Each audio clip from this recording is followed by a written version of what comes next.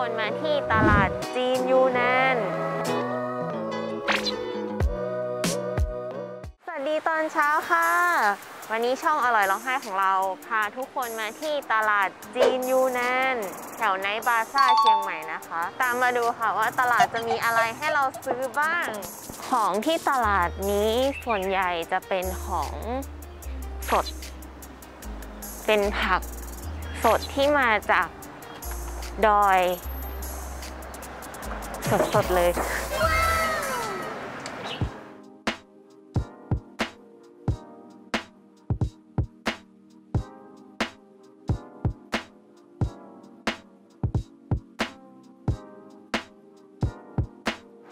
สวัสดีค่ะ สวัสดีตอนเช้า ตอนนี้ช่องอร่อยร้องไห้ของเรานะคะ อยู่ที่ตลาดนัดจีนยูนาน แล้วก็ตอนนี้เราอยู่ที่หน้าร้านอาหารจีนหวาหลิน อืม ร้านนี้ทีเด็ดของเขาคือเส้นบะหมี่ฟาดสดๆให้ดูเลย แล้วก็ที่สำคัญก็คือเซียวหลงเปา มีชื่อเสียงมาก เดี๋ยววันนี้จะพามากินค่ะว่าจะเป็นยังไง ตามมานะคะ นี่คือการทำเส้นบะหมี่สดๆ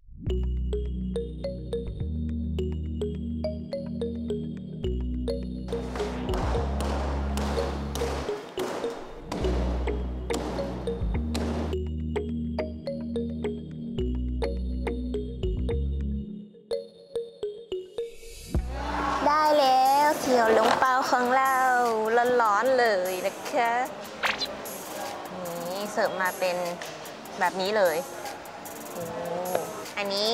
บะหมี่เนื้อน้ำแดงค่ะ เส้นบะหมี่สดที่เมื่อกี้เราเห็นเขาฟาดฟันกันมาก กว่าจะได้เส้นบะหมี่มาไม่ง่ายเลยนะ อืม น้ำเยอะเลยอะ ว้าว ลองกินแบบไม่จิ้มก่อนนะคะอืม อร่อยมาก แป้งบางบางบางเบามากเลยค่ะ อากาศเย็นๆกินของร้อนๆแบบนี้อืมสดชื่นอื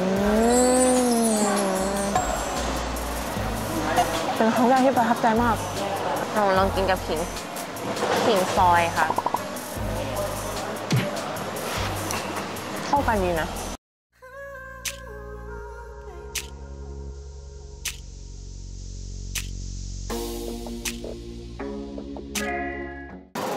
ข้างในอมความร้อนเลยดีมากเลย หากกินไปแล้วควันยังขึ้นอยู่นะอืมมันต้องกินกับขิงด้วย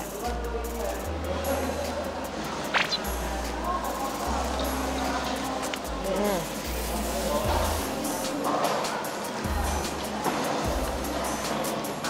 อืมอร่อยชอบมากเลยอะบะหมี่เนื้อตุ๋นน้ำแดง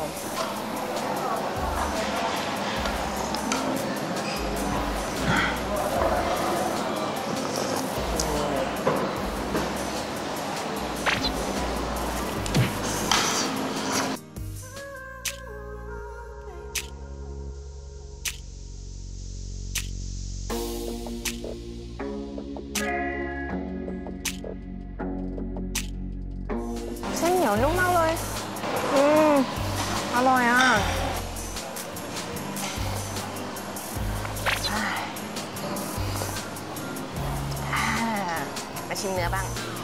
เนื้อได้ก้อนโตๆให้มาประมาณ 3 ชิ้น อืมดูดูเห็นไหมเอ่ยกินนะคะ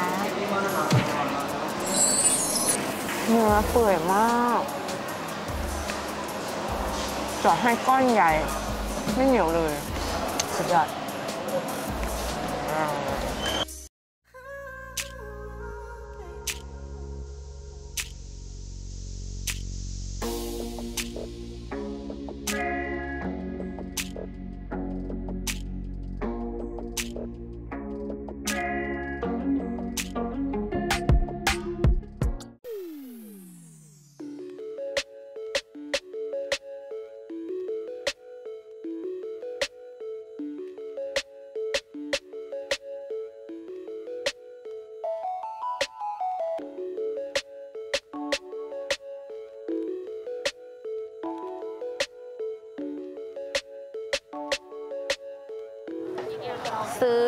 เค้กไข่ไต้หวัน และตอนนี้ได้กาแฟแล้ว ชาเขียวสองโกโก้สองเค้กไข่ไต้หวัน อยากบอกว่าอันนี้เป็นไต้หวันแท้นะคะ ไม่ต้องบินไปถึงไต้หวันก็หากินได้ที่นี่ ดูอยากให้ดูนี่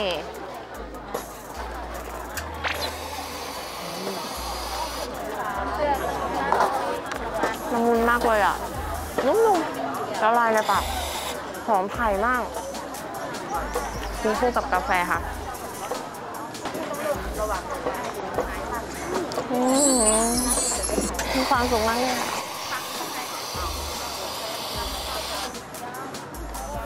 ชิ้นละ 40 บาทก็ถูกแต่ 3 ชิ้น 100 บาทค่ะ ดูเนื้อข้างใน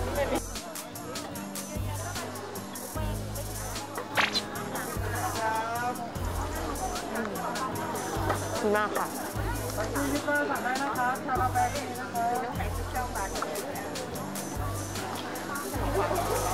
เมื่อเช้าเที่ยวจีน เมื่อกี้เที่ยวไต้หวัน ตอนนี้มาเที่ยวพม่า Okay. อาหารพม่า ชื่ออะไรจำไม่ได้แล้ว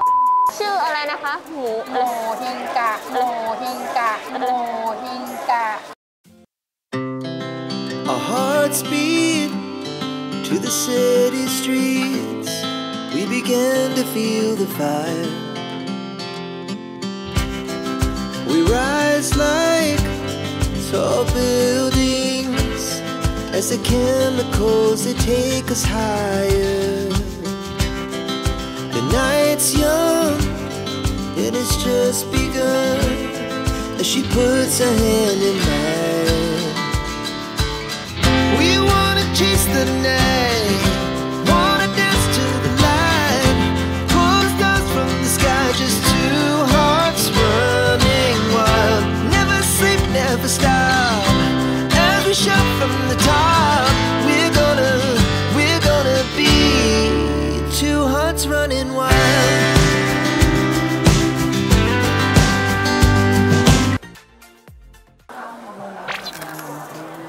อืมอืมอืม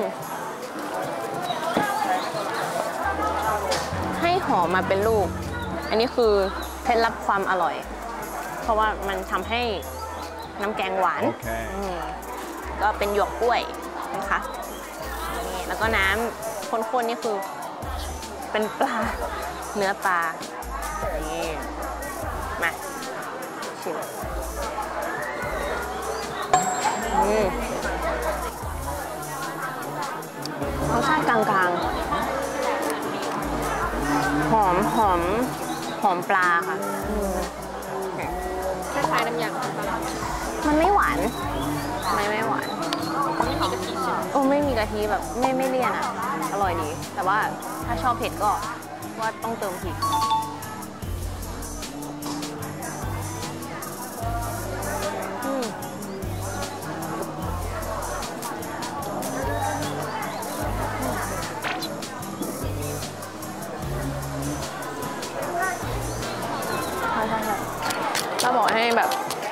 ธีกินคือแบบให้มันแตกแล้วก็กินไปเลยแต่ว่าต้องกินเร็วๆไม่งั้นมันจะอืด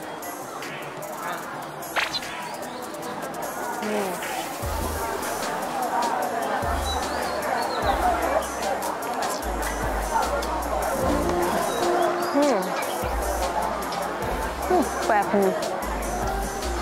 ถือว่าได้ลองอาหารของพม่าเปิดประสบการณ์ของเราในครั้งนี้ในชีวิต ยังไงถ้าไม่อยากพลาด เรื่องราวสนุกสนุกๆหาของกินแปลกๆ ใหม่ๆ ก็อย่าลืมกดไลค์ กดแชร์ กด subscribe ช่องอร่อยร้องไห้ของเราด้วยนะคะ บ๊ายบาย ทุกคนวันนี้ช่องอร่อยร้องไห้นะคะ พามาที่ร้านลกลกชาบูจุ่มทอดสไตล์มาเลยค่ะ ร้านนี้อยู่ตรงสี่แยก สถานีรถไฟอยู่ตรงข้ามกับสวนสาธารณะของรถไฟเลย